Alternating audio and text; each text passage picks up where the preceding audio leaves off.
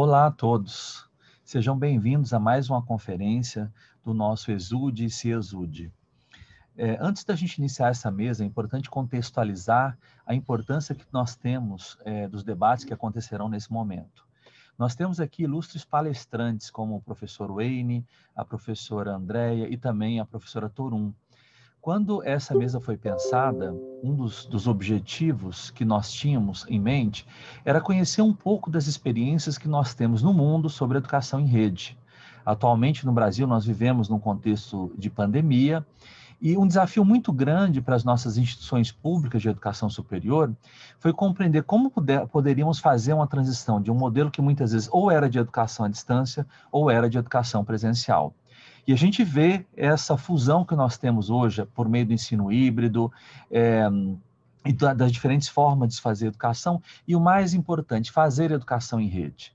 Então, um destaque muito importante para a fala do professor Wayne, sobretudo, que tem lá em uma, uma fundação que trabalha um modelo de universidades em rede e que tem uma possibilidade de que, discutir projetos onde as universidades, de modo separado, podem, aos poucos, congregar uma rede e criar propostas formativas em conjunto inclusive, a notícia de que nós temos uma estudante que formou na Universidade de Rede, que é por cursos que são ofertados por diversos países, por meio de pequenos créditos que após são agregados e por meio de programas são validados. Sejam bem-vindos, professora Torum, professor Wayne eh, e professora Andréia. É um grande prazer recebê-los no, no Brasil para a gente poder para podermos consolidar eh, e discutir as possibilidades de um debate sobre educação em rede. Muito obrigado a todos. Um, welcome, everybody. Uh, welcome, everyone. Good afternoon. Uh, the aim of this room is to discuss, to, to con contextualize and discuss uh, different experiences from different universities, from parts, uh, different parts of, of the world. And this is what uh, Professor Turum, Professor Wayne, and Andrea, Professor Andrea, are going to do. Uh, there is a divide between the, the experiences between the distance learning and the face-to-face learning. Uh, and here we are going to, to, to try to put these ideas together and to see um, uh, the experiences from each one of the participants uh, in the network of universities and how it's being operated uh, and uh, the, the, ways in which uh, universities can integrate, be integrated to achieve a higher quality of education. Olá, boa tarde. É, mais uma vez aqui com vocês, estávamos juntos agora na palestra do professor George Siemens, onde eu já fiz minha apresentação, nome é Wagner Bandeira.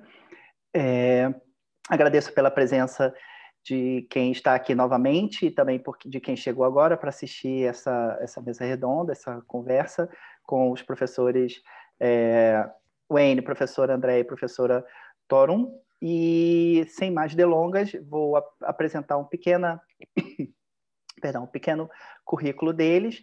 E a, a dinâmica, para a gente entender, vai funcionar da seguinte forma.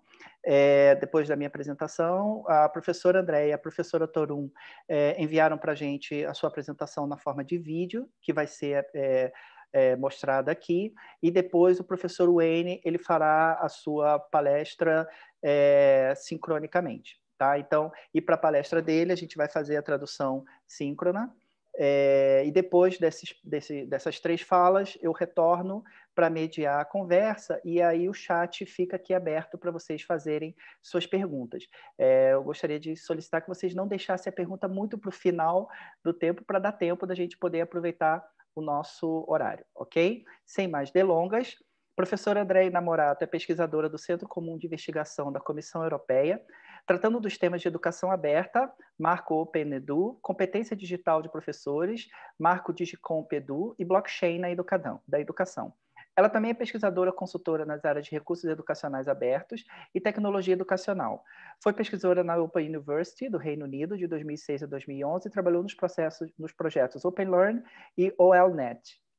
Possui publicações na área de recursos educacionais abertos e educação, incluindo um relatório nacional sobre recursos educacionais abertos no Brasil, feito para Unesco e ITE. É consultora de pesquisa no projeto europeu Oportunidade no Brasil, assim como membro de seu comitê é, gestor.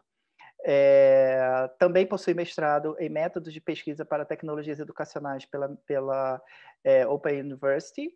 É, desculpa, e, e, anteriormente obteve grau de mestre em estudos linguísticas, é, linguísticos e literários em inglês pela Universidade de São Paulo, USP, licenciatura em letras português e inglês.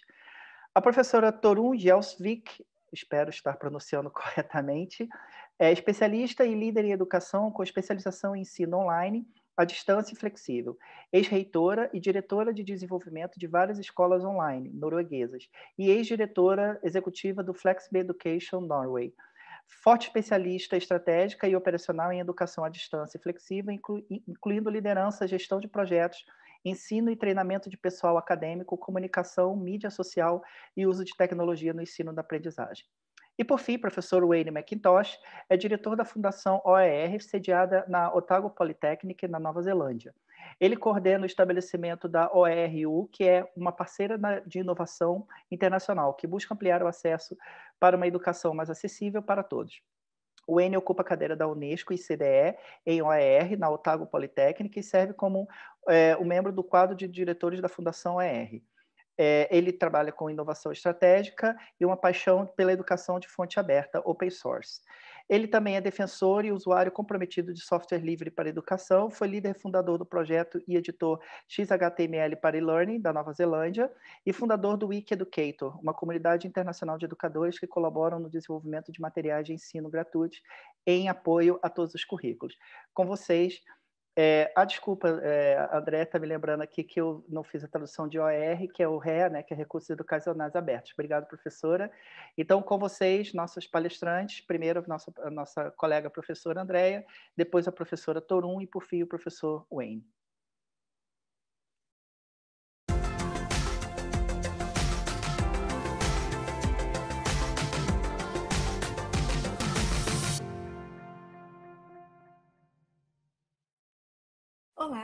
Eu sou André Namorato e é um prazer imenso participar com vocês do 17º Congresso Brasileiro de Educação Superior à Distância e do 6º Congresso Internacional de Educação Superior à Distância, ambos facilitados pelo ESUD. Muito grata pelo convite, é um prazer participar da, dessa mesa redonda. É, bom, eu vou falar um pouquinho sobre mim. Eu sou brasileira espanhola. No momento, estou falando desde aqui de Sevilha, na Espanha, onde eu resido há sete anos e meio. É, eu trabalho como, como pesquisadora num instituto de pesquisa da União Europeia, especificamente da Comissão Europeia, que é o órgão executivo da União Europeia, que se chama Joint Research Center, ou Centro Comum de Investigação, e aqui é, realizamos pesquisas na área de educação e tecnologia, entre outras áreas, mas meu foco é na educação e tecnologia, e desenvolvemos alguns frameworks ou marcos, né, como por exemplo o marco de competências digitais de educadores, o de Compedu, ou um marco que eu desenvolvi, que é o, o marco OpenEdu, o marco de educação aberta, e, e, também trabalhamos com, com vários temas relacionados à educação, temas que consideramos relevantes e importantes para ajudar na formação de políticas é, educacionais nos 27 Estados-membros da União Europeia. Então, são pesquisas utilizadas pelos Ministérios de Educação desses vários países, mas também pelas instituições de ensino, pelos próprios professores. Né?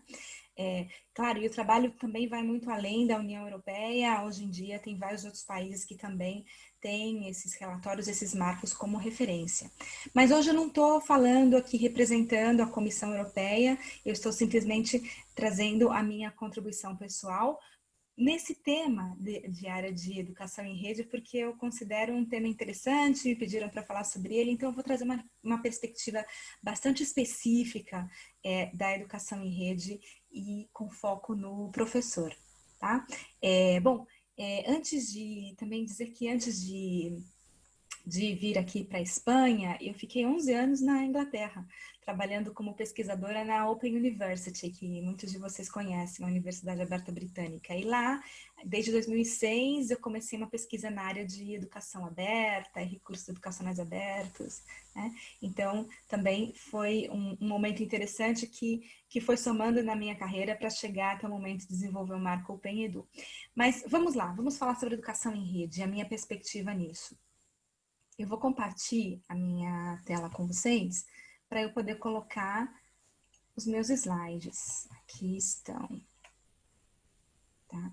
E o, o, foco, o viés que eu queria dar nessa percepção de educação em rede é o papel da autorreflexão na docência. Como é que a autorreflexão pode ajudar a gente, né? Nós, como professores. A educação em rede que eu estou colocando aqui, a minha perspectiva é uma, uma educação em rede que vai muito além do uso da tecnologia, mas eu estou falando também de redes de pessoas, né? Redes de pessoas que podem ser ou não fomentadas pela tecnologia. Eu acho que o, o foco que eu vou pôr é, está nas redes fomentadas pela, pelo uso da tecnologia, ainda que não exclusivo, mas que partindo do indivíduo, né? do professor como indivíduo, como é que esse indivíduo começa a, a, a entender-se nesse processo para criar essas várias redes. Então, eu vou colocar o foco no professor, tá? No professor como indivíduo. Bom, então, hoje o foco na autorreflexão.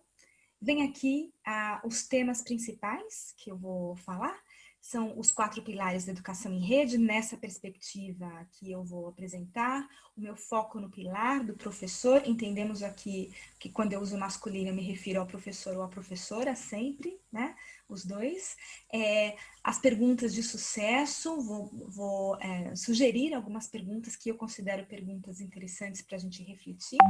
É, vou dar exemplos de instrumentos para autorreflexão e falar um pouquinho do poder do equilíbrio e do desequilíbrio, tá? Então, é, mais adiante eu explico o que eu quero dizer com isso. Então, falando dos quatro pilares da educação em rede, começando.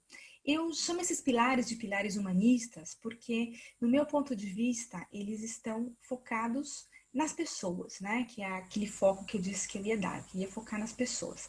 Aí vocês vão me dizer, Andréia, mas você colocou a instituição como o primeiro pilar ali. Veja bem, esses pilares aqui não têm ordem de importância, não é que o primeiro é melhor que o segundo, o terceiro ou o quarto, não, né? Eles estão aí, os quatro, é, são importantes no meu ponto de vista. Mas eu coloquei a instituição na perspectiva de que a instituição é feita por pessoas, não é? São os gestores, os professores, os estudantes, a comunidade. Então, são as práticas dessas pessoas, não é? Que fazem a instituição. E a instituição, na verdade, ela é formadora de discursos, né, através dessas pessoas. Então, isso é muito importante, no meu ponto de vista, é, colocar a instituição como um, como um ser vivo, porque é formado por essas pessoas e esses discursos, tá? Então, é nesse sentido. Então, para dizer que eu vejo quatro pilares, claramente, eu poderia falar muito dessa, desse mesmo tema, focando na instituição, poderia falar muito desse mesmo tema, focando nos estudantes e na sociedade, né, porque hoje em dia também tem muita resistência resistência da sociedade, ou mitos a respeito da educação digital, da educação online, que a gente precisa ir rompendo, e já estamos rompendo nesse momento que a gente vive, não é? Mas eu não vou focar nem na instituição, nem no estudante, na sociedade, meu foco hoje vai ser no professor. Mas mais além do papel dele como professor, mais é, no professor como um indivíduo. Né? Essa, essa a questão da pessoa em si como o indivíduo se posiciona nesse papel de professor, como ele se sente hoje, sendo responsável por ensinar online, uma educação digital que talvez ele já fazia, já praticava, já, já tinha muita experiência, ou talvez algo completamente novo para ele hoje, e ele se vê nessa necessidade né, de entender esse momento, de mover-se rapidamente para acompanhar esse momento, de fazer bem, de ter uma prática educativa e pedagógica que ele considere apropriada, e para isso ele vai precisar se esforçar e vai precisar, acima de tudo, controlar a angústia e entender esse momento de uma maneira mais tranquila, não é? Então, o foco hoje no professor. Pilar professor, como eu disse, o indivíduo no centro. E aí, o que eu acabei de dizer, né? Eu sei que alguns de vocês estão se sentindo assim, não é? é eu também, algumas vezes, me sinto assim, dependendo do tema, do que eu tenho que fazer, é, também é, é muito comum a gente, em momentos da vida, sentir que estamos vivendo um desafio, não é? é? você pode pensar, puxa, já tinha tudo planejado, eu sempre é, trabalhei com os meus livros, é, as minhas apostilas, eu tenho conteúdo todo planejado, sabia exatamente como dar essa aula presencialmente, agora eu tenho que dar essa aula online, ou eu já dava essa aula de uma maneira híbrida, agora ela foi 100% online, ou eu sempre dei essa aula online, mas eu sinto que eu preciso melhorar a minha prática online e isso está me criando um pouco de angústia, de estresse, ou porque eu não sei por onde começar, é, eu não tenho um, eu não tenho um recurso específico nisso que eu preciso, talvez eu nem sei identificar exatamente o que eu preciso, muitas vezes esse é o caso, né? Ou porque a instituição não me concede o tempo necessário de uma forma remunerada para que eu possa é, me dedicar à minha formação permanente, é, ou porque eu tenho muita, muitos compromissos familiares, né, ou com a sociedade realmente não encontro tempo. Então, existem vários fatores que podem estar causando é, no professor um certo uma certa angústia, né? E muitas vezes também até uma certa resistência para mudar. É, numa pesquisa que a gente fez aqui na, na Comissão Europeia em 2018, 2018, publicada em 2019, a respeito de práticas inovadoras na formação de professores, uma das coisas que a gente identificou é que alguns professores tinham realmente essa resistência de, de mudança, mudar o método, exatamente como ele ensina. Por quê? Claro, sempre funcionou bem, por que a gente tem que mudar agora, né? Não é uma questão que não funcione ah, sempre funcionou, funciona e seguirá funcionando, né? Mas é uma questão de atualizar para um contexto específico, né? Antes a gente estava falando simplesmente de trazer tecnologias novas. Hoje a gente está falando da necessidade de ensinar com as tecnologias no contexto em que a gente vive, não é? Então, como, na verdade, abrir-se para superar essa resistência é, que pode ser até um pouco inconsciente, né? Mas por, por, por estarmos numa zona de conforto na qual é, é, realmente difícil a gente começar, da qual é difícil a gente começar a pensar em como sair, não é? Então eu sugiro assim algumas perguntas de sucesso, tá?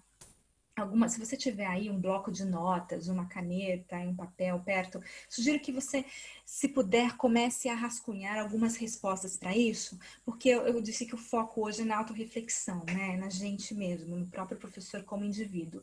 Então, eu pensar assim, vamos começar com do princípio, né? Eu sou um professor, uma professora, eu tenho um tema, eu tenho uma especialização, eu ensino uma disciplina específica, é, uma matéria específica, né? Qual é o meu curso? E, e aí, claro, tentar se localizar nisso como um intermediador, um coformador de significados, né? Não naquela perspectiva do professor detentor do conhecimento, é, em que ele simplesmente passa o conhecimento, né? Não, mas naquele que vai aí trabalhar e, e coformar os significados com os estudantes, né? É, nesse, é nessa perspectiva que eu estou colocando o professor nessa minha a visão desse tema. Então, é qual a relevância do que eu ensino? É refletir no básico, é voltar para as raízes. Qual a relevância do que eu ensino? Eu estou atualizada no tema? O que eu preciso fazer para me atualizar? Muitas vezes a gente sabe, ah, puxa, não deu tempo de ler o novo artigo que saiu, o novo livro que foi publicado, mas eu preciso fazer, eu vou fazer. Então, sempre fica esse tipo de, de, de, de tarefa na nossa vida, né? Para estar tá sempre atualizado. E isso independente de ser educação digital ou não. Isso sempre foi assim na vida do professor, né? Ele tem que se manter atualizado. E o que eu quero que o meu aluno aprenda? Essa é a pergunta, porque alguns professores precisam focar na parte teórica, outros na parte prática, outros numa mescla do teórico e do prático. Então, o que é, na verdade, que você quer que o seu estudante aprenda e que ele termine o seu curso, a sua matéria, a sua disciplina sabendo, né? E para quê? Exatamente. Para para qual tipo de uso é, que você tem mais interesse que ele tenha esse conhecimento. Então, essa reflexão é básica. É isso para, independente de tecnologia, é o papel do professor ter esse conhecimento atualizado para poder é, sugerir esse conhecimento e trabalhar com os estudantes essa ressignificação e essa conformação de significados, não é? Então, uma vez que a gente está confortável com o tema, a gente sabe que realmente domina o tema, etc., vem a grande questão, não é? como eu ensino? Como é que eu ensino esse tema que eu conheço, que eu sou especialista na área? É, quais as metodologias que eu vou utilizar? Quais as práticas pedagógicas? Não é? Então, às vezes a gente está acostumado a ensinar de uma maneira, mas existem tantas outras maneiras de ensinar as metodologias de ensino que são baseadas nas teorias de aprendizagem. Né? Então, talvez seja interessante dar uma revisada nessas metodologias para ver o que, que a gente poderia talvez modificar ou fazer diferente ou fazer melhor. Claro, primeiro identificando o que eu faço bem, número um. Certamente há coisas que você faz já perfeitamente bem, né? e você sabe quais são essas coisas. Depois, tá, como que eu posso melhorar? Porque eu preciso sair da minha zona de conforto. Então, como eu saio da minha zona de conforto? O que é que eu posso adicionar em termos de metodologias e práticas pedagógicas? O que é que eu posso aprender que possa melhorar a minha prática, né? Com ou sem tecnologias. E como eu gostaria de ensinar? Aqui é sonhar um pouco, né? Qual seria o ideal para mim? Qual a maneira ideal que eu gostaria de ensinar esse tema, essa matéria da, que eu preciso ensinar e que eu, eu quero ensinar para os meus estudantes. E aí, fazer perguntas básicas. Eu coloquei aqui exemplos, né? Com metodologias ativas, que é algo que está bastante é, de, em moda no Brasil no momento, falar em metodologias ativas, ainda que sejam práticas pedagógicas que existem já há muito tempo, né? É, ou com práticas educacionais abertas, como é, que, como é que é ser um professor aberto, um professor com as práticas educacionais abertas? O que é isso? Será que eu sei o que é? Vou aprender um pouquinho mais sobre isso, para ver o que, que eu posso trazer para a minha docência, né? Então, aqui são apenas exemplos, tá? De, de formas de ensinar diferente, mas eu acho que é interessante a gente pensar que a metodologia é super importante, porque a tecnologia, ela fica obsoleta, né? Então, é, não é só uma questão de escolher uma tecnologia, mas de ter uma metodologia caminhando junto com a tecnologia. Essa combinação que é que traz o poder, na verdade, do ensino e da formação de redes de maneira geral, não é? é as, as, redes que a gente vai fazer no ensino colaborativo entre os próprios estudantes, as redes que a gente vai formar com outros professores de outras instituições, é, dentro e fora do nosso país. Então, eu acho que é todo esse potencial que a, a prática educacional é, pode permitir que a gente faça para criar essas redes, e muitas vezes isso passa pela nossa própria metodologia. Se eu tenho uma metodologia aberta, se eu comunico com o mundo, se eu é, coloco online aquilo que eu faço, eu tenho muito mais chances de construir redes, não é? Bom, só para quem é, é, quer lembrar um pouquinho quais são as metodologias ativas, né? Existem várias, eu coloquei alguns exemplos aqui, como aprendizagem baseada em projetos, a baseada em problemas, a sala de aula invertida, a gamificação, a pesquisa, o método do caso. Aí, de repente, professor, você pode estar até pensando, puxa, seria interessante eu fazer uma revisão disso tudo aqui, até para eu poder decidir na hora que eu for, que eu, eu, sei qual é o tema que eu vou dar aula, qual é a matéria, isso serve tanto em, em termos de um curso completo como de um tema específico dentro de um curso, né? Qual cartinha eu vou puxar para ensinar isso, né? É, qual cartinha metodológica eu vou puxar? Eu vou, eu vou fazer a sala de invertida ou vou fazer uma aprendizagem baseada em projetos com algo mais a, a longo prazo que vai durar o curso inteiro, né? Ou, e dentro dessa aprendizagem baseada em projetos, talvez eu possa usar um pouquinho de pesquisa ou um pouquinho de gamificação, enfim. Mas para eu poder fazer isso, eu tenho que saber mais ou menos, né? Do que se tratam essas metodologias, desmistificar tudo isso para somente depois escolher as tecnologias que melhor vão permitir que eu utilize essas metodologias e que eu ensine da melhor maneira possível ou intermedie processo de ensino-aprendizagem com os meus estudantes daquele tema que eu domino, que a gente já viu lá atrás, né? Então, eu acho que isso é super importante, é revisar um pouco essa questão das metodologias. E depois pensar nas competências digitais, não é? Então, então aí sim a gente vai fazendo um caminho, um percurso. Bom, eu já sei, estou atualizada no tema, estou pensando aqui quais as melhores metodologias, estou revisando as minhas práticas metodológicas e aprendendo práticas novas, e agora eu vou pensar e fazer uma autorreflexão sobre as minhas competências digitais, aquelas que eu já tenho e aquelas que talvez eu deveria ter, talvez nem saiba que não tenho, mas justamente porque não tenho, não é? E, e eu acho que aí é interessante esse, esse papel da autorreflexão, não é?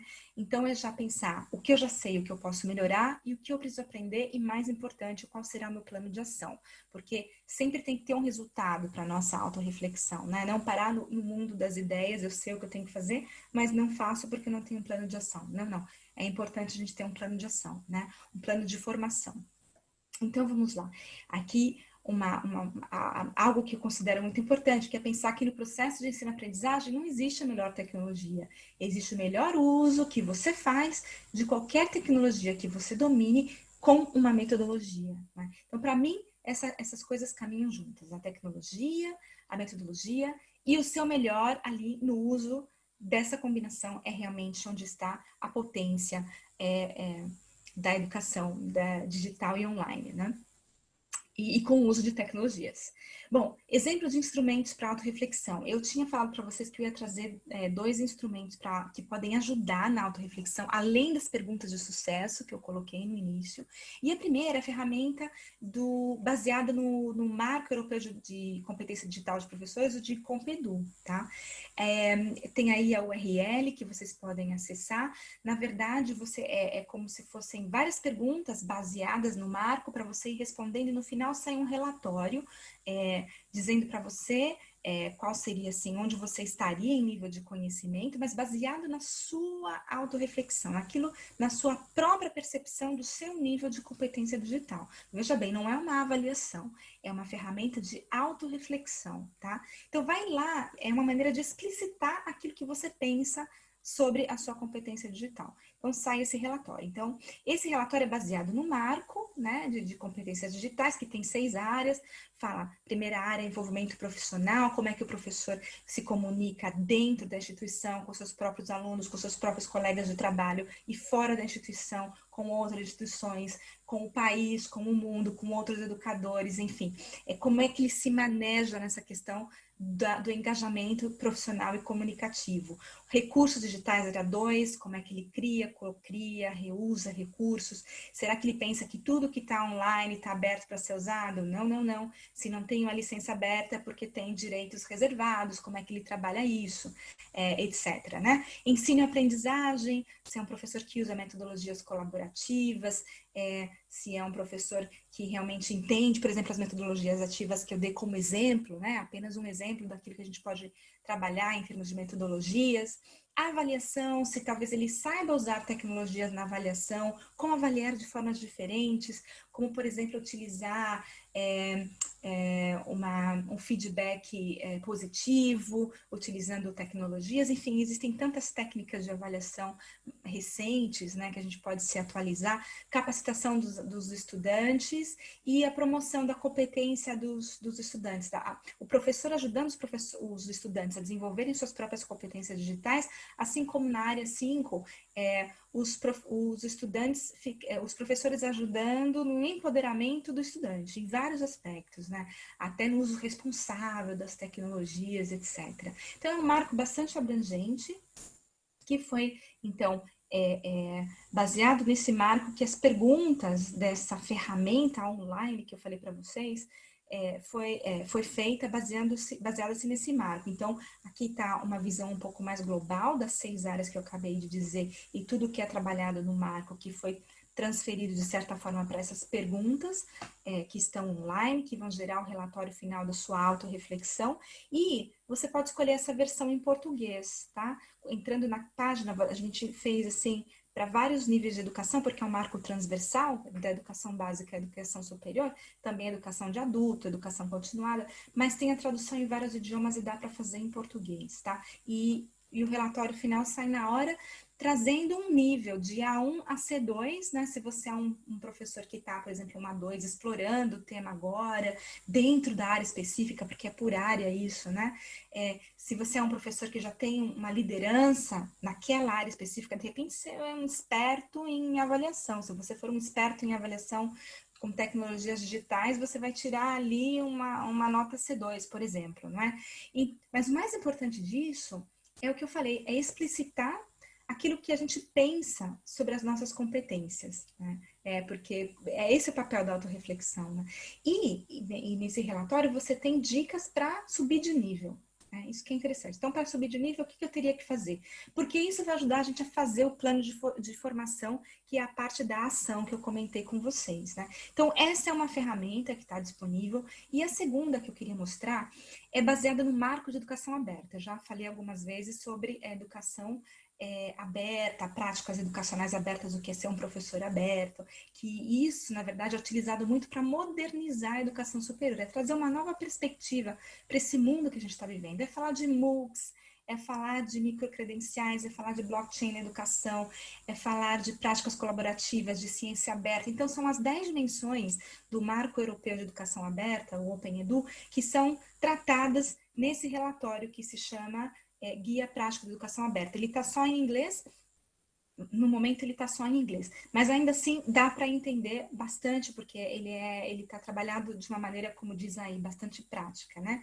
Então, olha, as 10 dimensões centrais tem a ver com conteúdo, que vão muito além dos REAs, né, dos recursos educacionais abertos, dos MOOCs, né, todos os tipos de recursos digitais, pedagogias abertas, o reconhecimento da educação não formal e informal, a colaboração entre professores, estudantes, etc. A pesquisa, qual o papel da pesquisa na educação aberta, open science, a ciência aberta, o acesso, e então essas são as, as dimensões centrais, e depois vem as dimensões de apoio, que é a necessidade de ter uma estratégia, tanto pessoal como institucional, para ser um educador aberto, usar tecnologias, prezar pela qualidade e tem um aspecto de liderança aí super importante, né? Então, como é que é trabalhado isso nesse, nesse relatório que eu convido vocês a, a descarregarem, tá, tá, a baixarem online, ele tá gratuito, é, disponível. É, por exemplo, trabalhar a dimensão do conteúdo. Então, uma breve definição do que é essa, essa dimensão conteúdo, qual o foco que a gente está dando, os benefícios, por exemplo, dos recursos digitais, e aí você vai ter perguntas para autorreflexão, né? A única diferença desse para o outro relatório, né, para o outro marco, é que o outro já foi digitalizado, né? Ele está numa forma de ferramenta. E esse não, está no papel, mas serve como uma ferramenta, um instrumento, na verdade, de autorreflexão, ajudando você a refletir. Por exemplo, número um, eu posso identificar a licença de um recurso educacional. Pode ou não? Já pensou nisso? Sempre pensa nisso quando você busca um recurso online ou não. Então é pensando nessas, nessas afirmações e pensando, eu faço isso ou não faço, e ao mesmo tempo aprendendo com elas, né? Porque conforme a gente está se autoavaliando, isso é um convite, ou melhor, reflexionando, não é uma avaliação, reflexionando sobre as nossas práticas, é um convite para a gente pensar em coisas novas, talvez coisas que a gente não tinha pensado antes, não é? Então, por exemplo, a mesma coisa para a dimensão pedagogia que são as práticas educacionais abertas. Então, aqui tem uma definição rápida e depois algumas, algumas afirmações para a gente refletir e pensar se fazemos ou não. Então, uma coisa interessante que eu sempre digo é que não existe um marco que seja é, um, o único, né? Uma verdade única. Para mim, os marcos são instrumentos, são instrumentos que servem como um apoio para nossa própria reflexão, para a gente poder adaptar para o nosso contexto, né? Não existe um, um, um marco que sirva para qualquer contexto, para qualquer situação. Mas o, eu acho que o bonito da gente ter um marco, a beleza que existe nisso, é que é um ponto de partida para a gente poder modificar, atualizar, adaptar e refletir, né? Esse é meu ponto de vista com relação aos marcos, tá? Em relação aos marcos.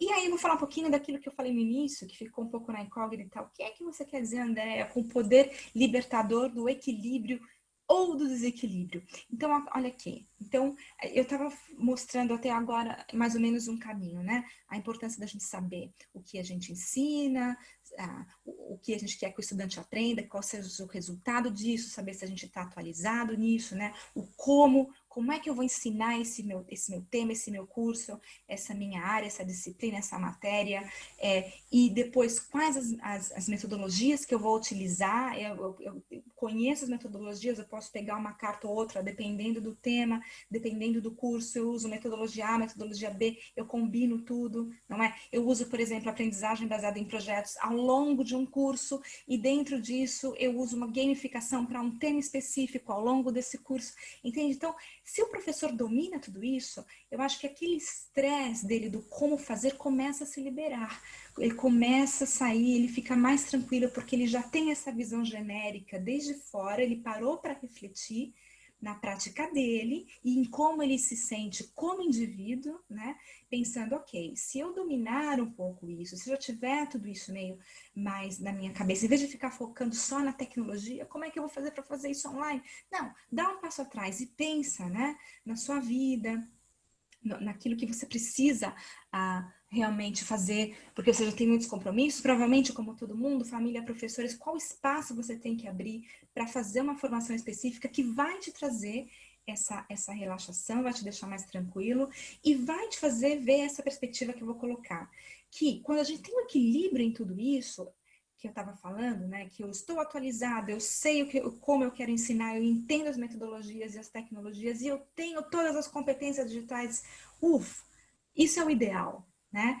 Excelente se a gente conseguir ter esse equilíbrio, mas na maioria das vezes isso não vai estar equilibrado. Ou, por exemplo, a gente pode entender muito uma, da tecnologia e não entender tanto das metodologias para utilizar com essas tecnologias, ou a gente pode ter se desatualizado um pouco no tema, ou a gente pode não ter certeza de, de como ensinar, enfim. Então é importante entender isso como um processo e aceitar que pode ser que haja um, des, um certo desequilíbrio nessas coisas que são tão importantes e aprender a conviver com isso sem esse estresse, né, que realmente pode ser esgotador das nossas energias, não é? Então, é, eu, que eu, a minha mensagem aqui também é para aliviar um pouco, né? Para dizer, olha, é normal que haja um desequilíbrio, o equilíbrio é o ideal, mas quando a gente identifica que há um desequilíbrio, é importante através da autorreflexão. Por quê? Porque aí nós podemos ter um plano de ação para atuar naquela área, né? e isso vai sempre ser uma constante. A gente vai tendo um plano de ação, vai atuando, e com isso vai é, fazendo de uma forma artesanal o nosso desenvolvimento profissional, que é ao longo da vida, isso não termina nunca, tá? Então, era essa mensagem que eu queria falar que é libertador você perceber que o estado de desequilíbrio é normal. Né? Talvez o anormal seja um estado de equilíbrio constante, é? apesar de parecer ideal, não é? Bom, e então, assim, para resumir, como a autorreflexão é importante, é isso que eu falei, todos esses passos, a identificação do tema, atualização no tema, o como eu ensino, a necessidade de sair da zona de conforto nossa, que a autorreflexão vai permitir também que a gente perceba quais são as competências digitais que a gente já tem e quais mais a gente precisa melhorar ou, ou, ou, adquirir e fazer um plano de desenvolvimento e, mais importante, ação. Como é que eu vou aprender isso? Eu vou buscar cursos formais, eu vou pedir auxílio da minha instituição, eu vou fazer cursos não formais, eu vou fazer um MOOC, é, eu vou usar recursos abertos, eu vou conversar com um professor que eu conheço que faz melhor, que eu sei que ele trabalha com tal metodologia, com tal tecnologia que eu desconheço, que eu conheço pouco, eu vou criar redes nesse sentido, não é? Então, é, é pensar um pouco na autorreflexão, no plano de ação e nas várias redes, as várias formas com as quais eu possa tentar atuar é, nessa questão da, do meu desenvolvimento profissional constante, tá? Bom, era isso que eu queria falar, era, era essa perspectiva, e eu espero que tenha, que tenha sido algo interessante para a gente pensar no papel da autorreflexão, nesse poder da autorreflexão. E aí, o que, que acontece? Vem a tranquilidade. Né? A tranquilidade mesmo dentro do desequilíbrio. É, isso é super importante. Bom, aí aqui fica uma, uma frase final que eu acho muito bonita, que é Be mindful even if your mind is full. E aí vem desse conceito mindfulness que está super trabalhado hoje em dia, né? Mindfulness é, também está na moda, que é falar de você estar tá sempre consciente, sempre no presente, né? Tendo total consciência daquilo que você está fazendo ao seu redor, o que acontece ao seu redor. E claro, aí também é o professor saber, puxa, eu estou consciente que eu tenho muitas coisas na minha cabeça, que eu tenho muitos desafios, mas que eu posso conviver bem ainda com esses desafios, porque eu também não sou o único que estou passando por tudo isso. É uma fase muito interessante onde a gente está aprendendo e está reavaliando as nossas práticas. Né? Então, acho muito bonito be mindful, even if your mind is full. Então, nunca perder o foco. Tá? E o foco, professor, é você mesmo, né? É o seu bem-estar em primeiro lugar, é a sua tranquilidade para você ser esse professor que eu coloco aqui, um professor feliz, né? Porque não existe melhor professor, existe o melhor indivíduo que está feliz no seu papel de professor e esse vai ser um professor excelente, um grande professor, né? Bom, eu queria aproveitar para fazer um convite para vocês. Eu, tô, eu vou oferecer muito em breve, não tenho data ainda, mas em breve, um curso online, 100% online, gratuito, sobre recursos educacionais abertos, tá? Então, se você é um professor que quer se reciclar nessa área, sabe um pouquinho, mas quer participar dessa discussão um pouco mais ativamente, ou não sabe muito, quer aprender desde o princípio, então eu convido que você se inscreva nesse curso, a gente já tem uma lista de espera, e é só mandar um e-mail para essa direção aqui, não para o meu e-mail pessoal, mas para o info.ainamorato.gmail.com. Não precisa escrever nada no correio, no e-mail, simplesmente coloca no título interesse no curso REA e quando for lançar o curso, eu vou avisar você, tá bom? Então, muito obrigada pela sua atenção e eu espero que a gente possa ter uma conversa agora é, ao vivo aqui na, no Congresso. Tchau, obrigada.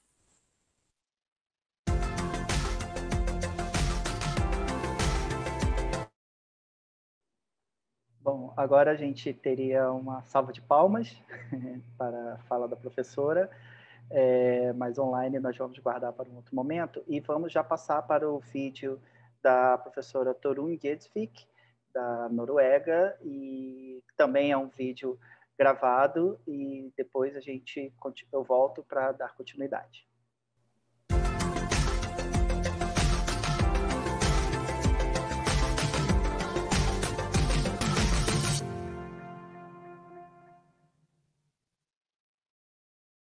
Greetings, hello from the Secretariat uh, of ICD in Oslo, Norway. My name is Tore Njelsvik. I'm the Secretary General of ICD, and I'm very pleased to be able to speak to you on the occasion of the Brazilian Congress of Higher uh, Distance Education and the International Congress of Higher Distance Education 2020.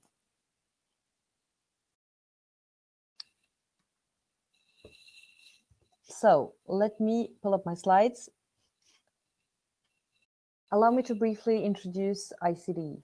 Uh, we are, as far as I know, the leading um, oldest global membership organization for open, flexible, and distance learning. We were founded already back in 1938 in Canada. We are uh, a not-for-profit, uh, non-governmental organization. Um, we have been supported by the Norwegian Ministry of Education and Research since 1988, which is why the Secretariat is based in Oslo and we are in a consultative uh, partnership with UNESCO. We've been so since um, the 60s. And on the map, you will see uh, the global outreach of uh, ICDE. Um, we have more than 250 members and partners, and the dots indicate on the map uh, where these members and partners, uh, which countries they're situated. Uh, that's more than 70 countries um, across the world regions. And all our members are impacting altogether more than 15 million students around the globe. And the purpose of what we're doing is the same as it's been since 1938. It's to bring education to all, uh, inclusive education through uh, new um, method methodologies and technologies for learning. The technologies were different course, in 1938, uh, when we were established as the International Council for Correspondence Education, where the communication took place through uh, postal letters between the students and the teachers. However, um, the purpose is uh, still the same today with inclusive education.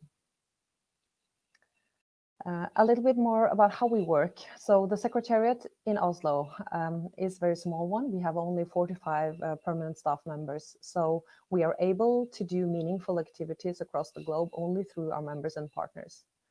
Uh, the members are basically higher education institutions, uh, but we also have individual membership and student memberships. Um, so these would be experts and faculty members uh, within primarily higher education and we also work with associations on regional and global level um, in different regions of the world. And through these members and partners, we are able to work on different levels. So for example, with UNESCO, we work on the policy level. Um, on the 2030 Education Framework for Action, um, ICD took part. Uh, we have been working with UNESCO on developing guidelines on the inclusion of learners with disabilities and we are um, a member of the UNESCO OER uh, Dynamic Coalition. We also work on advocacy and leadership with rectors and presidents of our institutional members and through our committees and networks. And we work on the practice level with experts um, within distance and online education. So why do we need a global network for education? Well, we all face global challenges and the global challenges for education have to be solved by global solutions. And the sustainable development um, goals, uh, especially number four, um, is valid for all educators. It is to ensure inclusive and equitable uh, quality education and promote lifelong learning for all it is um, a common goal for educators across the globe and um, at least uh, the ones that are engaged in uh, flexible and uh, distance and online education and learning methods. And the COVID-19 pandemic has affected education so severely, um, and it still is. And, and with schools and campuses uh, lockdowns and the immediate need to shift to flexible and distance learning modalities um, has um, also shown that the the um, the, the, access or the, the need uh, to access to connectivity uh, is core. Uh, the right to connectivity and technology has now been included um, by UNESCO into the right um, to education. And uh, the effect of the pandemic has shown that the, the ones who suffer the most uh, from, from lack of access to the right proper technology and connectivity are the ones that already are the vulnerables, most vulnerable learners, such as, as women and girls and learners in remote and rural areas. Um, the silver lining, however, um, is that the, the, increased attention that uh, open, flexible, and distance learning methods um, and innovation uh, in teaching and learning um, has been seen as, as a response to, to the crisis. This requires cross-sectorial and cross-country collaboration, and we have seen many uh, significant global partnerships um, emerge from the crisis and also an increased willingness to share expertise and, and resources uh, as a response to the pandemic.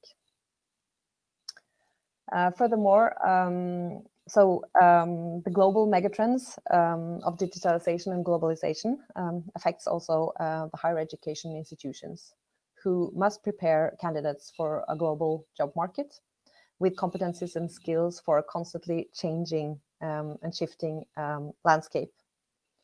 We know that that automatization and digitization require constant upskilling and reskilling of workers in order to um, secure um, uh, the relevant um, skills um, and um, employability um, and relevance for the candidates. And uh, this is why internationalization is so high on the agenda uh, for many higher education institutions. And, and even though um, that there's a, a, competition also in, in the global education market, many find that uh, international orientation and collaboration through uh, global networks is, is the only way to develop uh, this international profile. And uh, the need to be uh, globally relevant applies to everyone, while the uniqueness and uh, regional connections of the university make the institution locally relevant. So these are, are just uh, a few examples of the um, global partnerships and increased collaboration that has emerged from the crisis. Uh, UNESCO uh, pulled together um, their global education coalition, where they have attracted um, members of civil society, ministries, and the private sector in order to solve uh, the immediate um, need uh, of, uh, the, the COVID-19 pandemic and the effect it had on, on education. Um, the International Teacher Task Force um, is also a UNESCO initiative. It existed already before the pandemic, but um, they have, for example, increased their efforts towards um, COVID-19 responses related to competencies um, and skills development for, for teachers, um, having to pivot their um, teaching to um, flexible and, and, distance and online learning modalities. And we have seen other um, partnerships such as Commonwealth of Learning, who initiated this open door collaboration, International Partnership of Distance and Online Education for COVID-19. and uh, again, initiative um, from Commonwealth of Learning and OERU, um, the OER for COVID, uh, which also ICD is a partner to. Uh, through these partnerships, um, there are virtual activities uh, emerging, such as webinars, but also uh, reports. Um, so, so an example is this one uh, on the left side, the um, report from the Association for the Development of Education in Africa, which also is a partner organization to ICD. It's about um, the impact of COVID-19 on education in African countries. And um, ICD also has its own special resource page. Um, you can find it through icd.org slash corona. Uh, we pulled it up um, shortly after the COVID-19 had been declared uh, as a pandemic. And uh, the purpose was to gather uh, relevant resources, tips for online distance teaching and learning, and to gather resources and news, and also to um, engage our membership into um, this task force and the campaign that we called learning together. Uh, because it's more important than ever that we share uh, our knowledge and um, expertise and um, and learn uh, together because this is a global challenge uh, that requires collaboration and we can only do so through our members contributions. So we have held um, several uh, webinar series and um, gathered a lot of resources. So so check out this this page. We populated um, and um, uh, as we go uh, with the contributions from um, all our, our members and stakeholders. Um, a more concrete example of um, a partnership uh, that ICD has entered into recently is with the Brazilian association UniReg. Um, UniReg as um, a regional association for federal universities in Brazil and ICD as a global membership organization, we have um, entered into this partnership uh, by mapping uh, the mutual areas of interest, where we identify um, synergies and also benefits for our respective members. Um, and we, together, when collaborating, we can um, create uh, increased visibility for each other's um, organizations and share expertise Unireg has the regional knowledge and the key contacts and the network um, that we need uh, in a global uh, organization uh, in order to develop meaningful activities um, within um, this region. And Unireg uh, see the value of being connected to um, our global expertise and the broader international network. So we can collaborate then through uh, events such as this one, um, projects. Um, we could work on um, material and reports with, for example, regional contextualization or translation of material. So those are just a few examples on how such a partnership can develop concrete results. And we look very much forward to the continued um, collaboration with UNIREG. Um, to look more forward to ICDE's focus areas and strategic priorities, we will be launching our next uh, strategic plan in November this year.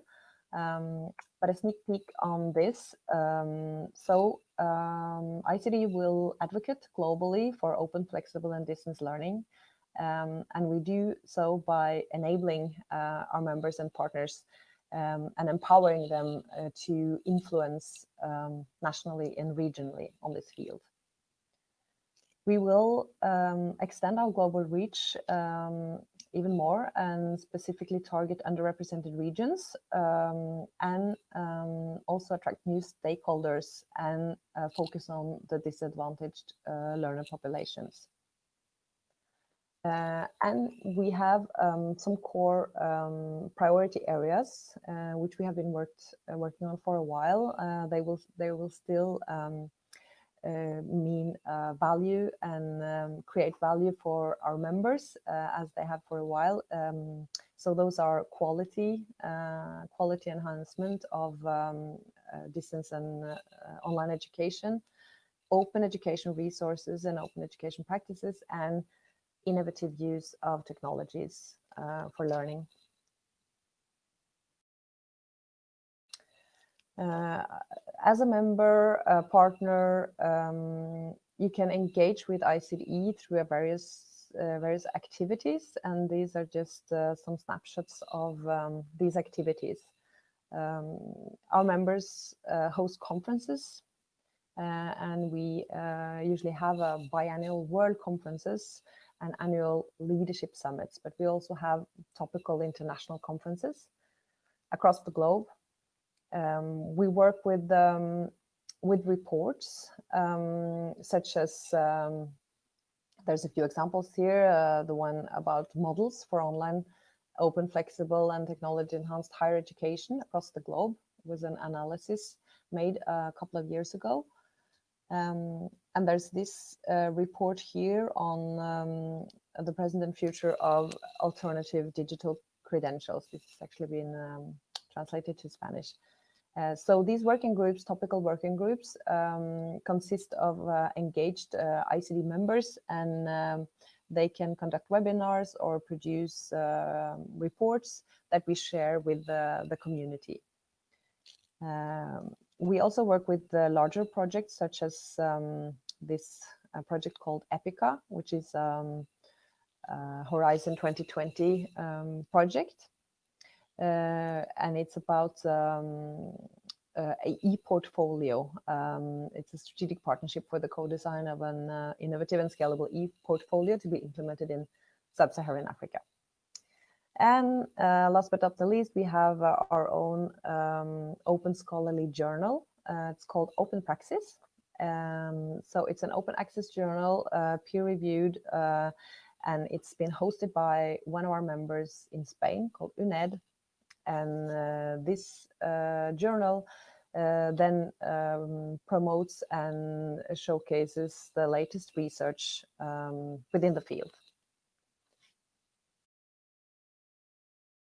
Uh, on the side of the events, so all events now are uh, virtual um, of, for obvious reasons, and our next upcoming event is the President's Forum, um, with the title Recalibrating Educational Leadership for Resilient Education. It takes place on the 25th of November.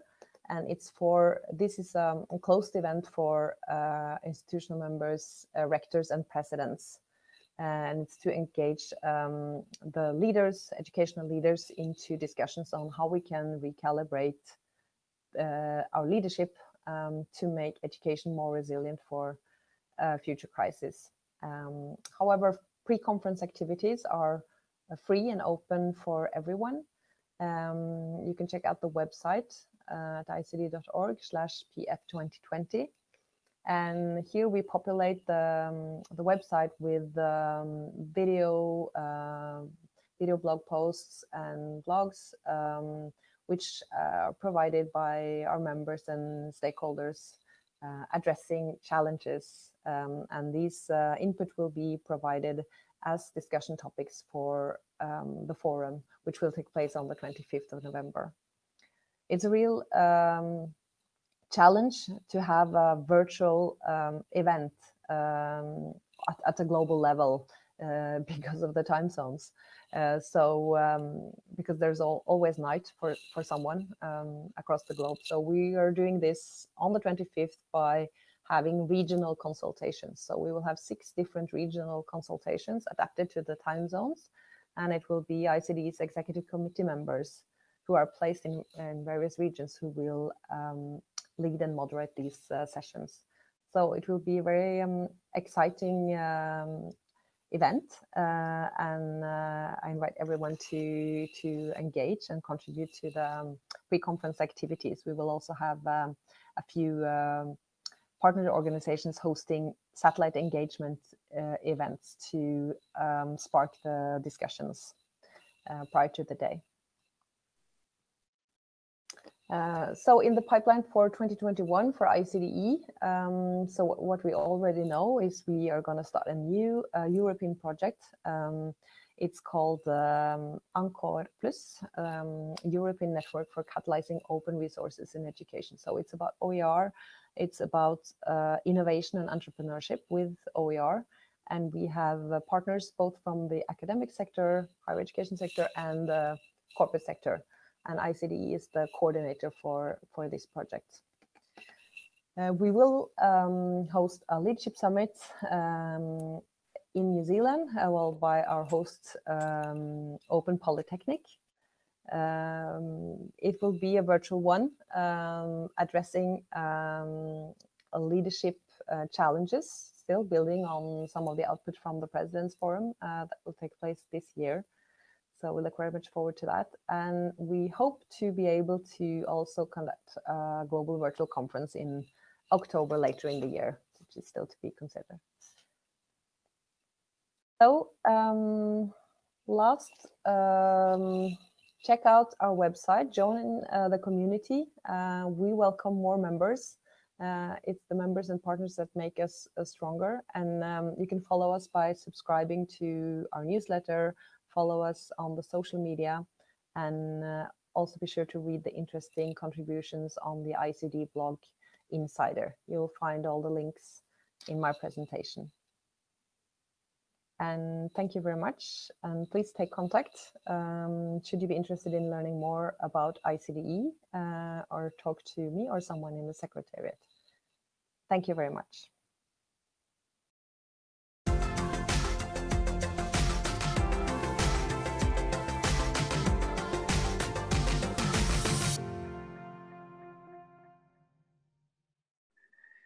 Bom, agradecemos a fala da professora Torun. É, quem quiser pode copiar ali os, as palmazinhas, né? A gente acredita que está ouvindo.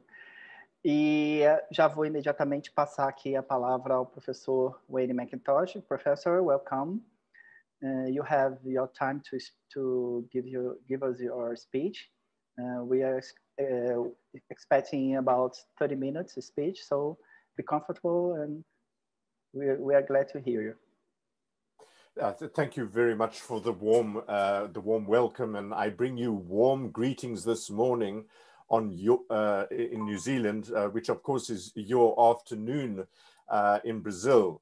Uh, but what I should say, we are very fortunate in New Zealand. we have already seen the future that has happened, and um, your Wednesday will, at least your Tuesday uh, will be wonderful. So I, I'm, we are expecting that. We make a lot of jokes with that with that situation. Fair enough. So I'm, I'm, I'm not sure at the moment, are we uh, working with subtitles? Are the subtitles working or are we doing a live translation?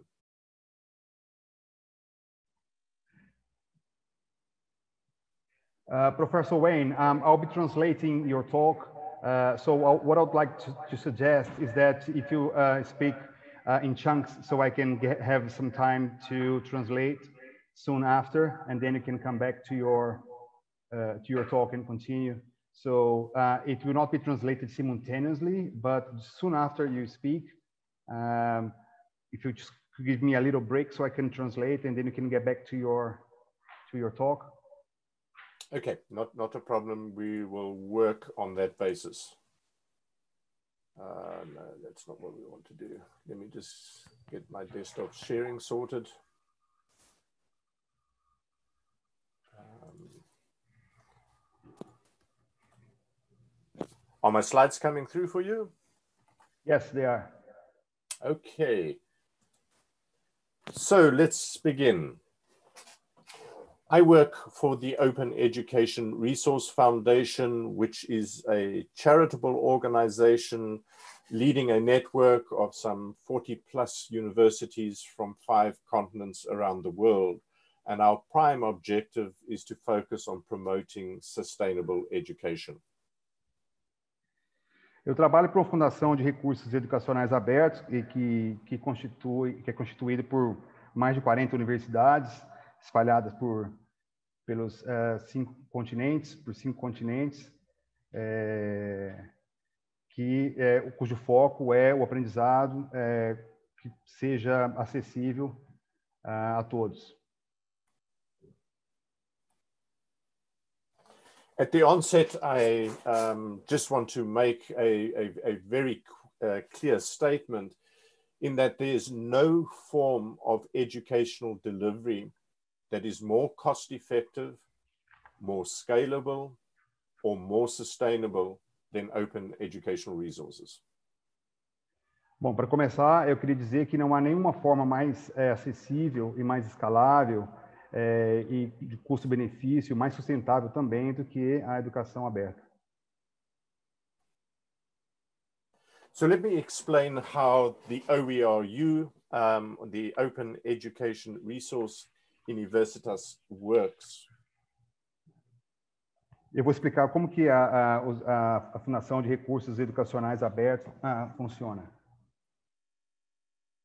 The key challenge we are trying to solve as an educational charity is we know that conservatively estimated over the next two years, we need to provide for an additional 100 million places for higher education for learners who are qualified to enter higher education, but due to lack of funds or provision in their home countries, will not have the privilege of a tertiary education. Um dos pontos principais, é, a nossa preocupação principal é de que nós temos que é, providenciar educação acessível a, a mais para mais de 100 milhões de pessoas até o ano de 2025. E essas pessoas, muitas delas, não têm um acesso ao básico, é, a, a, a, estrutura básica para poder é, estudar e a, a tecnologia disponível. E essa é uma grande preocupação nossa. But what if universities, higher education institutions assembled only two courses for online delivery using open educational resources to provide free access? And what if those institutions agreed to provide assessment only services for formal academic credit? E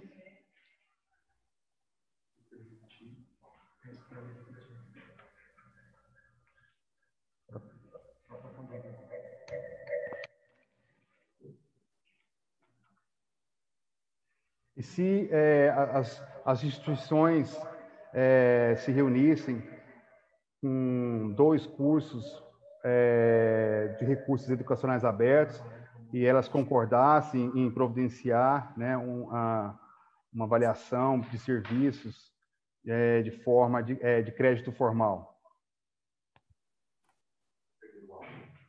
This is what we're doing at the OERU. We assemble open online courses based entirely on OER. So learners can access these uh, uh courses for free. When and if, a, sorry, carry on. I'm sorry, I, I was going to say, uh, this is what we do, uh, é isso que nós fazemos na, na Fundação de Recursos Educacionais Abertos. Nós montamos cursos para que as pessoas possam ter acesso essa a, a, a, essa a esse modo de essa modalidade de ensino. So learners study for free if and when they feel ready for assessment. They can approach one of the OERU partners for an assessment only service for formal academic credit towards university qualifications. Então, as, as, os alunos que estão aptos a, a estudarem, a fazer um curso é, de ensino superior, eles têm um acesso gratuito a esses cursos que nós, é, que nós montamos, que nós é, construímos.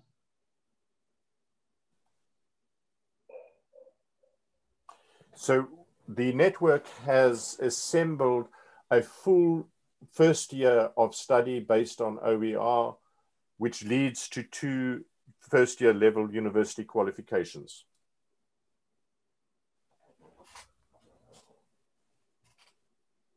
Can you continue, Professor, please? At the OERU, uh, we assemble all our OE, uh, all our courses from a series of micro courses.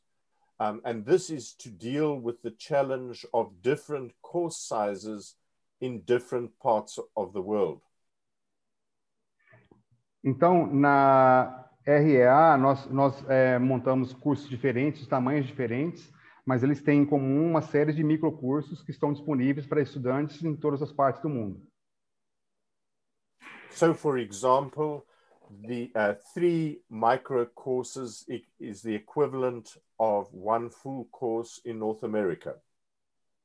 Então, como exemplo, três microcursos equivalem a um curso inteiro é, na América do Norte, por exemplo. In New Zealand and Australia, four micro courses will be the equivalent of a full course in our part of the world. Na, já na Nova Zelândia e na Austrália, quatro microcursos equivalem a um curso completo em outras partes do mundo. So you can see with this system, we have assembled a transnational network for micro-credentialing. Então, nós temos um sistema é, transnacional de, de credenciamento, de, de, de, créditos, é, através desses, desses microcursos. So, for example, we have partnered with EduBits here in New Zealand, which is a micro credential provider. And these micro courses are stackable in that they lead to formal university qualifications.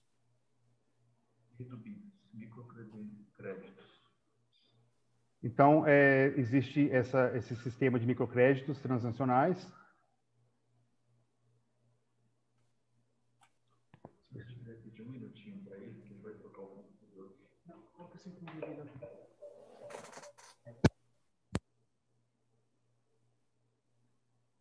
So, for example, the course Introduction to Project Management consists of the four micro courses listed there. If a learner successfully completes all the micro courses, they will receive transcript credit towards the qualification, the Certificate of Higher Education in Business, conferred by the University of the Highlands and Islands in Scotland. So uh, we also uh, offer open badges uh, for all our micro courses. A number of the badges are free, which are based on simple knowledge test covering core competencies. Então, eles oferecem pequenas, é, pequenas medalhas, pequenos selos referentes aos microcursos que eles, é, que as pessoas concluem, de modo que elas possam transformar isso em créditos educacionais que vão ser usados como é, moeda ou como é, recurso de formação. And of course, as part of our transnational micro-credentialing system, learners can also earn um, EduBits, which, which is a badge for assessed learning that carries formal credit towards our OERU qualifications. É, e nesse formato, esses créditos podem ser convertidos nesses EduBits e se transformar como créditos formais para qualificação de recursos educacionais abertos. Alan, segue daí. Segue daí. Um, we, in our survey for new OERU participants, we have asked learners if they are interested in micro credentials, and it's interesting to see that 46% of learners entering OERU courses are considering uh, to acquire a micro credential. Uh, many higher education institutions do believe in expanding affordable access to learning as part of their community service missions. But what is difficult for institutions to deliver individually becomes possible through active participation in our OERU network. Muitas instituições de educação superior acreditam que na, é, expandindo o acesso à aprendizagem pela, pela missão de serviços comunitários, é, acreditam é, na expansão pela, pela so, serviços comunitários, mas que podem se tornar difíceis para instituições entregar individualmente, se torna possível por meio de participação ativa nas redes de é, REA, né, de recursos educacionais abertos. And, and just in closing, I should mention that the OERU, in partnership with the ICDE, is working together with UNESCO to support capacity development in OER. We are offering. Ok. Uh, a OERU é, e junto com, a, com o ICDE estão trabalhando junto com a Unesco para oferecer capacidades mais amplas de acesso a recursos educacionais abertos. Uh, we have an open course in OER and Creative Commons licensing uh, in English, and UNESCO is, uh, uh in partnership with ICD, is undertaking a French edition of this course. Eles têm um curso em inglês que sobre a licença Creative Commons e que está sendo oferecido junto com, com o apoio da UNESCO nesse projeto. And I'd like to extend an open uh, invitation to institutions in Brazil. If any of you would like to collaborate in uh, translating and localizing a Portuguese version of the course, uh, we would welcome your participation. E ele convida as instituições brasileiras que puderem é, oferecer tradução para esses cursos que estão originalmente em inglês, e ele gostaria de ter a nossa participação nesse projeto. So that's all I have to say this morning, um, and let me hand back to the floor. Ele agradece a participação e podemos bater as palminhas no nosso chat. E com isso, eu convido novamente as nossas colegas palestrantes, professora Andrea e professora Torum. I invite you, Professor Andrea and Professor Torum, to, to come join with us in this table, virtual table. Professora, eh, vamos, é, vou fazer as perguntas em português e inglês, e aí você pode responder em inglês. Se o professor Alan é, não aparecer, não conseguir retornar, aí você faz a resposta em inglês também para os nossos colegas Tá, em português. responder em português e depois em inglês, não? Isso, isso. Okay. Se, porque aí a, a, gente vai tentar fazer a tradução em inglês para os colegas. Se o Alan não conseguir, aí eu, eu vou tentar, mas aí a sua não, você pode fazer. Sim, sim. Eu já tenho uma pergunta. I have one question uh, directly to, to Professor Andrea. Is from Osvaldo Coelho. I will, I will ask first in Portuguese, then I will ask in English for the, the, the conference participants. ok? É, professora Andréia, do Oswaldo Coelho, ele, ele diz o seguinte, a educação à distância nasceu com o objetivo louvável de levar a educação onde ela não chega. Porém, houve uma fase após isso que enxergou-se o lucro, e aí nasce todo o questionamento contra o EAD, no paradigma mais barato, mais lucro. Provocando uma discussão, eu colocaria mais um pilar naqueles quatro pilares iniciais, o pilar financeiro. Concorda que o EAD é o que tem para hoje, mas nada me convence que isso é o melhor que é melhor que o presencial, usando até as mesmas tecnologias em EAD. Now I will ask, uh, make the same question on, in English. Distance education was born with praiseworthy objective, objective of bringing education where it does not reach. However, there was a phase after that that saw the profits, and then all the questioning against EAT, uh, distance learning, was born in the cheaper, more profit paradigm. Provoking a discussion, I would put one more pillar in those four initial pillars, the financial pillar. I agree that distance learning is what it has for today, but nothing convinced me that this is better than face-to-face, -face, using even the same distance learning technologies. Uhum. Osvaldo, obrigada pela, pelo seu comentário. É, eu acho que a, a, sua, a sua pergunta, a sua reflexão, na verdade, é, parece que entra bem no contexto brasileiro, essa questão do, das vantagens financeiras em relação à EAD, né? Porque isso não é igual aqui na Europa, tá? Então, só para contextualizar um pouco, eu acho que a educação à distância no Brasil, é, até por meio de polos, né? todo esse modelo que a gente tem no Brasil, que, claro, é diferenciado de universidade para universidade, na verdade é um modelo que aqui eu ainda não encontrei, tá? Então acho que a primeira coisa a gente teria que pensar um pouco no nosso contexto como brasileiros e como empresários brasileiros e até mesmo através do Ministério da Educação, o que é que a gente quer para o nosso país, né? E por que esse esse foco que você está colocando no que existe, que você diz que existe, não, eu não vou questionar nem que sim nem que não, estou só comentando aqui o que você disse, por que, que existe isso? Se é uma questão cultural do nosso país, o que, que é? Então eu devolvo essa pergunta, tá bom?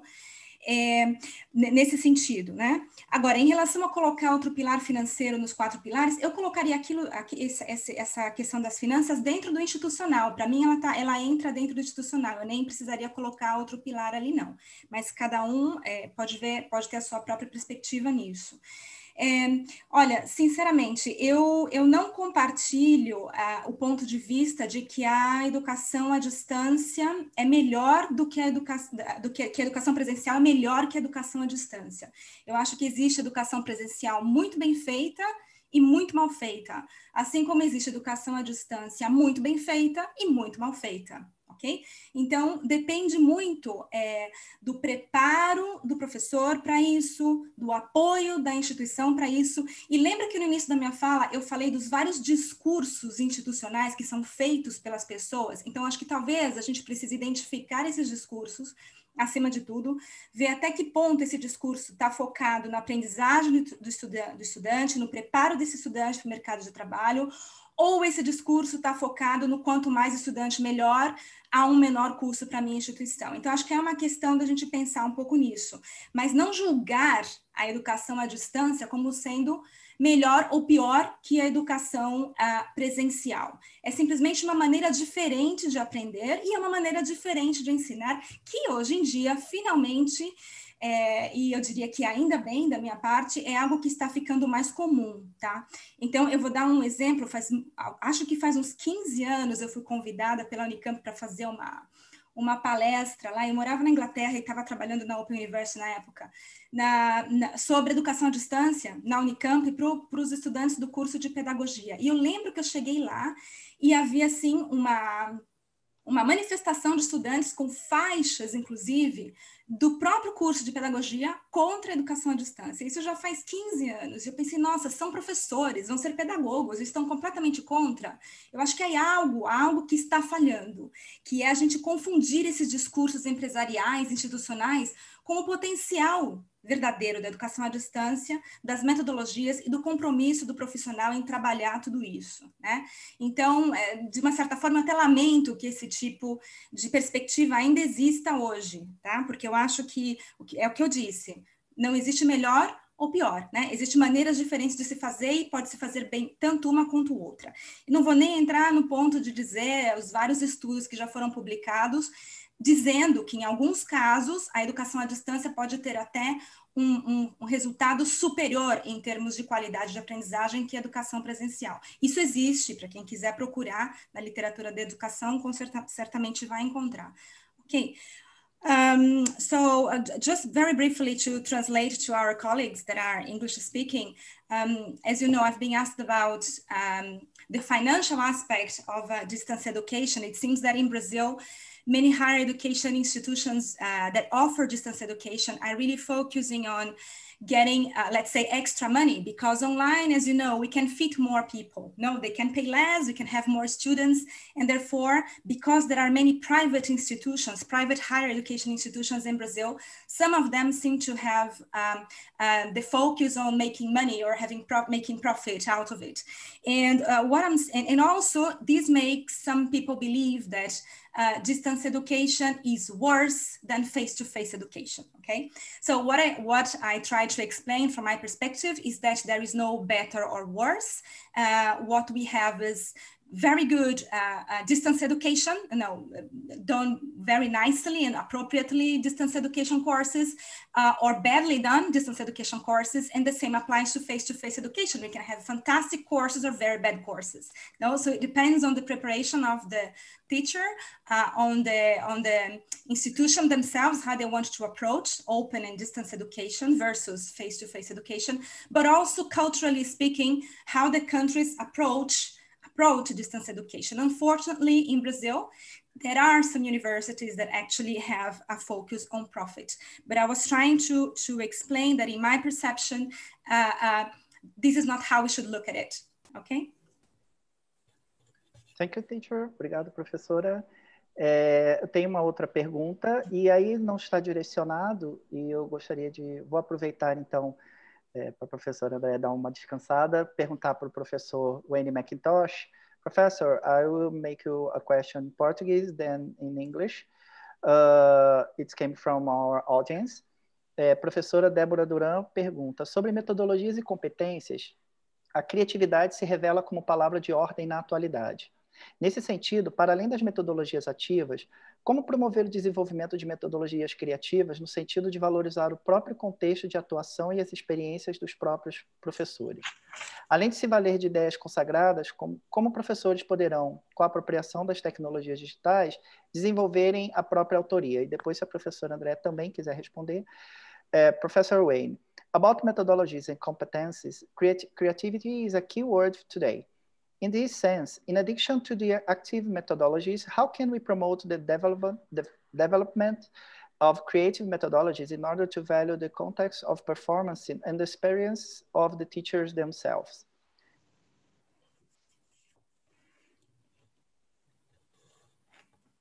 Um, thank you for the question. Um, and I'm not sure my answer will do justice. Um, but I think the question is also related to the earlier question comparing the quality of distance education and face-to-face education.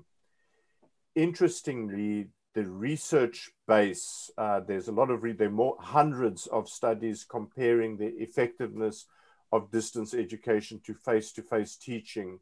And the research evidence shows there is no significant difference. Mm-hmm. If anything, learners studying through well-designed uh, distance education initiatives, in fact, perform better. And that is because of the quality of the design that is required in distance education settings. So therefore, in short, to promote creativity, we need to design for it. É, Alan, você traduz ou quer que eu... Você já conseguiu voltar?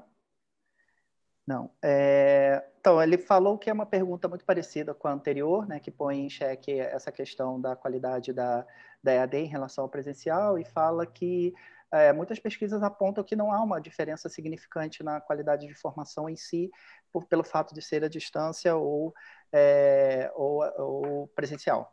E que para que o professor possa ter é, uma metodologia criativa, ele precisa planejar para que isso aconteça. Né?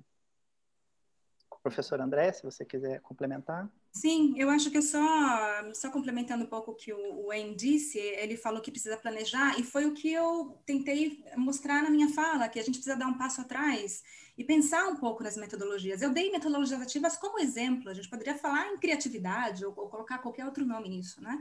Mas pensando nas metodologias e nas várias formas de ensinar, que são propostas que, claro, o professor vai se apoderar dessas propostas e modificar e colocando a sua própria criatividade nelas, né? Não existe regras sobre como fazer uma metodologia ativa funcionar na tua sala de aula. Cada um se apropria e usa da sua própria criatividade para criar novas formas de ensinar ou co-criar com os próprios estudantes novas formas de ensinar. Então, na minha opinião, a questão da criatividade é muito importante, mas ela só existe na prática. E para a gente chegar na prática, muitas vezes é necessário dar um passo atrás e rever um pouco as possíveis formas diferentes de ensinar, que tipos de metodologia a gente pode utilizar. Obrigado, professora. É, a, nós estamos sentindo aqui a falta da professora Torum, é, que ela está tendo dificuldades técnicas de entrar. Tá? Então, nós vamos conversando aqui enquanto isso, e vou deixar algumas perguntinhas para ela também poder participar, pelo menos conversar ao vivo com a gente, já que ela só teve o vídeo. É, a pergunta 3 eu vou fazer aqui para os dois colegas, e fique à vontade quem quiser responder. Boa tarde a todos. Parabéns à organização e aos palestrantes pelos excelentes temas abordados hoje. Desculpa a pergunta do Frederico Aires.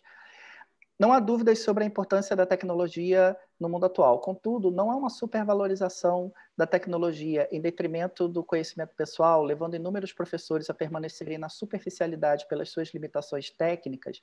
Não tenho intenção de desvalorizar a tecnologia, mas tenho dúvidas sobre é, formas de colaborar na busca pelo equilíbrio. Professor Wayne, I will make the, the, the question in English and you can answer, or Professor Andrea, as you wish. Uh, good afternoon, everyone. Congratulations.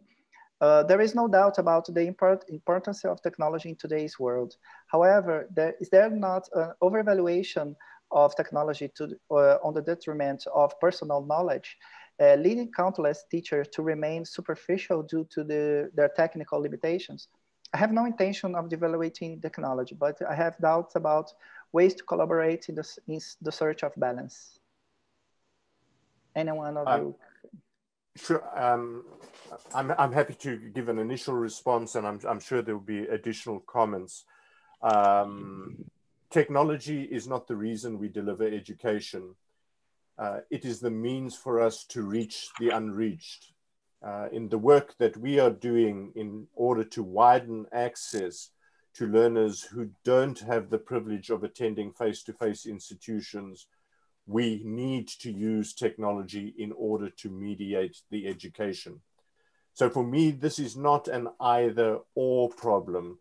It's about enabling us to widen access to education for everyone, including those who can't afford it. And we can't do it without technology. So é, I'll ele, leave it there.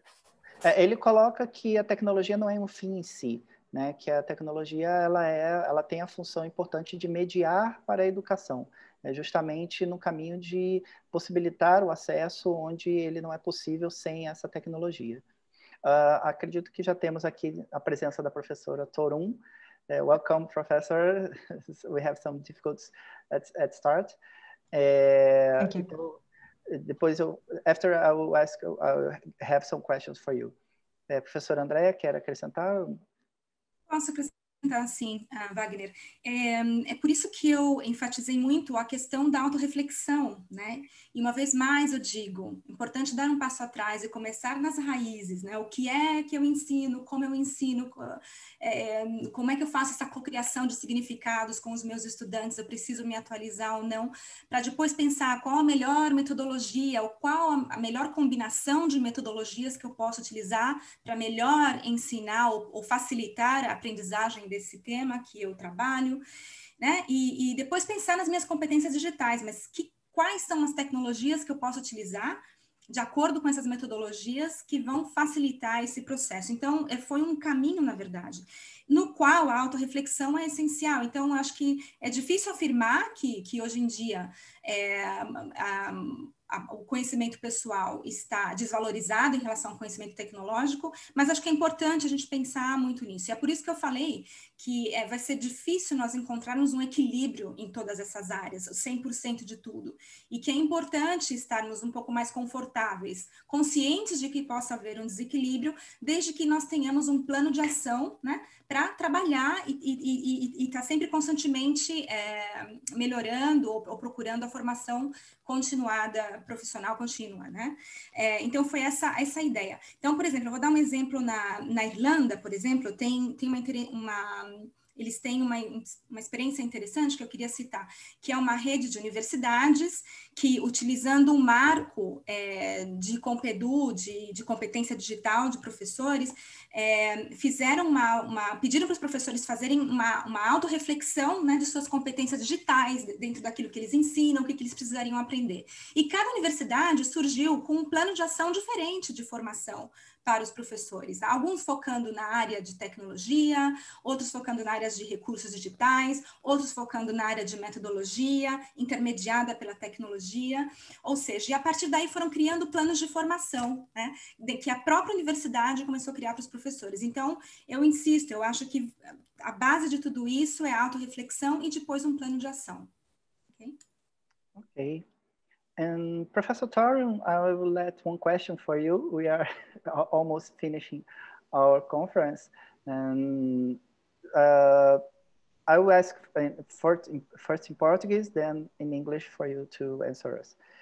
Uh, Fábio Escaramuça, ele comenta que a pandemia deixou claro que se tivéssemos mais ações dessa rede, as escolas públicas do nosso estado teriam condição condições de lidar com ela na ausência de vias educacionais com maior capacidade de inclusão. O que temos hoje é uma rede estadual, estadual seguindo o virtual, mas no presencial é por entrega de tarefas impressas. No mesmo território, temos escolas municipais apenas com entrega de material impresso. A ausência de tecnologias educacionais exclui esses alunos. Pergunta: o que fazer para reduzir abismos na rede pública em países como o Brasil, em momentos de crise como aconteceu durante a pandemia? Uh, now in English, the pandemic made it clear that if we had more network actions, public schools in our state would be able to deal with the absence of educational paths with greater capacity for inclusion. What we, what we have today is a state network following the virtual, but the presential is, is by delivery of printed tasks. In the same territory, we have municipal schools only with the delivery of printed material. The absence of technolo educational technologies has excluded these students. Question, what to do to reduce abysms in the gaps in the public network in Brazil, in, in, countries like Brazil, in moments of crisis as it as that happened now in pandemia, in the pandemic. Thank you. Yes, that is indeed a huge question. And um, the challenges you have been facing in Brazil um, during the pandemic is, is similar to many other parts of the world. Uh, we must remember that um, flexible and distance education also is uh, not only online education. Um, flexible education can be delivered through various means, also analog um, uh, technologies. So um, uh, there are, we have seen through the crisis how um, educators across the globe has um, solved this challenge with a lack of proper infrastructure and connectivity um, differently by um, using uh, creativity through other um, communication channels. Uh, perhaps the mobile phones are working, uh, even though you don't have access to internet, for example. Um, we have seen examples of teachers going out in, in mobile buses, uh, providing some sort of material um, out in, in, in rural areas. So, um, but to the question on how um, this um, lack of the lack of connectivity and proper infrastructure, the, how this problem can be solved, I think it can only be solved by collaboration between uh, the authorities, um, like on the policy level, with the civil society organization and the educators. It has to be politically decided. It has to be uh, public um, funding uh, targeted towards this issue, and and civil society organizations and the educators uh, need to be on board in the collaboration. É, ela fala que é uma a pandemia né, atingiu muitos países parecidos com o Brasil, de fato. É, ela lembra que o conceito de educação flexível não é necessariamente um conceito de educação online, é, que também soluções analógicas podem fazer parte dessa proposta, e que muitos, em várias partes do globo, muitos educadores resolveram esse problema usando é, de soluções de criatividade, né, como, como o próprio uso de celulares, muitas vezes onde não havia sinal de Wi-Fi, é, foram usados ônibus com, é, com redes móveis, onde as comunidades mais periféricas podiam usar é, como hub, né, de, é, usar para fazer essa conexão Wi-Fi e respondendo mais diretamente, a solução ela vem a partir da colaboração de é, tanto da sociedade civil quanto educadores e as, as autoridades, com políticas de inclusão, políticas de ampliação desse acesso. Uh, we don't have, uh, I think we don't have uh, no more questions. So uh, I'd like to thank you all and let you to have some last uh, talking if you if you want to speak uh, a, a, little more for for us to to go home. Or just very briefly from New Zealand, a big thank you uh, for the invitation to join you. Um, from my perspective, OER represents a return to the traditions of the Academy, and that is to share knowledge freely. É, o professor agradece, direto da Nova Zelândia, temos aqui né, é, uma conexão realmente mundial, e ele fala, agradece pela oportunidade de poder compartilhar esses, essas discussões importantes sobre a educação. Uhum. Eu também queria aproveitar para agradecer o convite para essa participação e desse bate-papo que a gente está tendo. Queria reiterar o convite que eu fiz para quem quiser aprender mais sobre ré em português, para participar desse curso livre e gratuito que eu vou oferecer brevemente, justamente com o intuito de colaborar nesse compartilhamento de conhecimento, né, que é a origem do, dos recursos educacionais abertos, tá? Então fica meu convite e um agradecimento especial à, à pelo convite. Professor Taro, a last word. Uh, thank you very much for the invitation to participate. It's been a pleasure. And um, thank you for all the assistance with the translations. It's uh, so important in order for us to be able to engage with the audience in, in Brazil and elsewhere. So thank you so much for that. And um, I hope we'll be in touch. Uh, professor agradece pela oportunidade, pelo convite, pelo, pela, pela importância de termos também essa participação traduzida, que é, inclusive com tradução de Libras, que agradecemos aqui a nossa tradutora, né, que é, traduz para as pessoas com deficiência auditiva. E antes de fechar, eu gostaria de deixar a palavra com o professor Alexandre, que é o diretor da Unirede, que vai deixar-nos uma palavra de despedida. Okay, Professor Toron, thank you very much for your cooperation with ESUD. Uh, at the opening of the event, I greeted ICDE. and I mentioned the affinity between UNIRED and ICDE. Thank you very much, Professor uh. And Professor Wayne, thank you very much for your speech. As you know, uh, once again, we have tried to invite you to Brazil. This it was possible virtually in this moment. Uh, congratulations for your work in your leadership on the OIRU. Uh, Professor Torun was in Brazil in the event in the last year in Universidade Federal do Rio Grande do Norte, but I don't know, uh, Professor Wayne, uh, if you, you know Brazil. But Professor Wayne, as we Brazilians say, once you learn the path here, you, will always come back. I hope you feel welcome to visit us again. Thank you very much, Professor uh, Wayne. And Professor Andrea, é, eu queria agradecer muito a sua, a sua participação no evento, é, foi de grande valia, né? Sempre é bom ouvi-la. No último encontro que nós tivemos lá na Irlanda, né? A gente teve a oportunidade de escutar a sua fala, dizer que você orgulha muito os brasileiros, né? Porque é uma pessoa que está no Brasil, e tem uma colaboração muito grande com a comunidade europeia, e, e dizer que a Unirede está sempre à disposição para que a gente possa continuar discutindo essas experiências, sobretudo na perspectiva é, da educação em, em, rede. Eu queria agradecer à intérprete, ao professor Wagner também, todas as equipes que estão nos ajudando nesse momento, junto também com a Alain né, e todo o pessoal que está envolvido aí no suporte nesse momento, tá? Muito obrigado.